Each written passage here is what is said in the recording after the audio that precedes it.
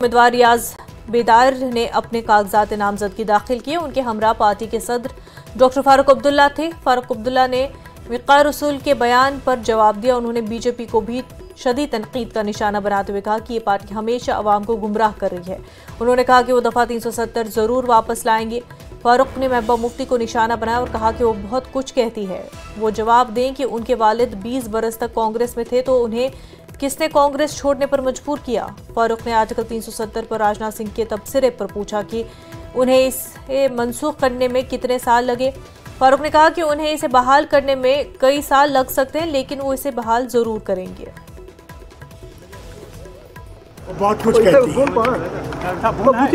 इसका जवाब दे वो कि 20 साल कांग्रेस के सदर इनके वालिद रहे। किसने उसको मजबूर किया कांग्रेस छोड़ने को? ये उनसे सवाल सर कल जो सर बेकार रसूल का एक बयान सामने आया। कल वो भी कह रहे हैं कि एनसी के साथ हमारी कोलेशन नहीं है बल्कि ये खून वाला झंडा है। उनका तो जो कहना चाहते हैं कहें। मैं किसी को रोक तो नहीं सकता। मगर उनकी जमात तो हमारे साथ खड़ी है। हम उस इतिहाद में हैं और इन इनके बगैर भी उस इतिहाद में रहेंगे। मेरा सवाल इनसे है कि कितने साल लगे इनको इसको हटाने में? हमें भी हो सकता कई साल लगे वापस लाने में, मगर लाएँगे ज़रूर।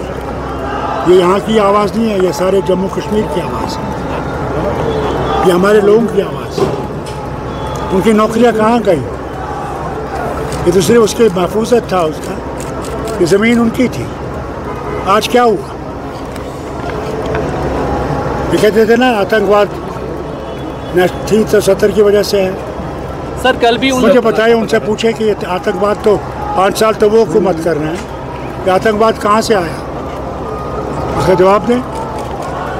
और एट वन फोर जो एयर इंडिया का वो ले गए थे कंधार उसके जिम्मेवार कौन है? और जो मजदूर हज़ार वगैरह वहाँ सब हैं वही ताकतवर तो चला रहे हैं।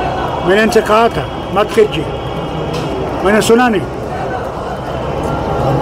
जो भी यहाँ हो रहा है उसके जिम्मेदार दिल्ली वाले। सर यहाँ पर